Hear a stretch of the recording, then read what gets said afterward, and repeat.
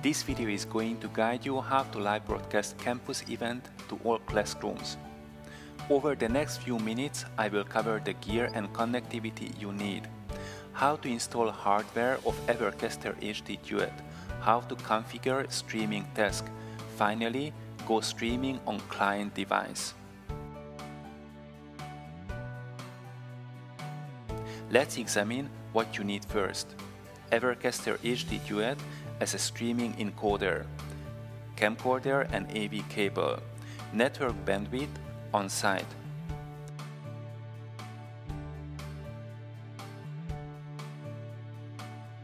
Connect camcorder and AVerCaster HD Duet with HDMI cable.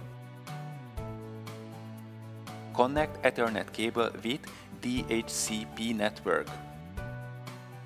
Plug power and turn on F239.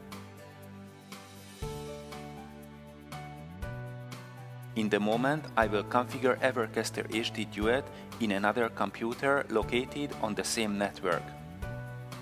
Open AVerCaster Manage tool. Click IP address and then log in. Here's the AVerCaster Streaming Management interface. Go to Configuration page. The upper panel lists the status of input sources corresponding to the physical locations of the input signal locations. Here I'm going to configure camcorder source from first HDMI port.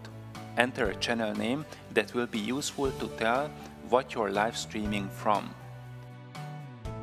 Streaming type TS Multicast is recommended to conserve network bandwidth if you have a lot of clients watching the live event. No need to change the default value of TTL and SAP. Enter multicast IP address and port number.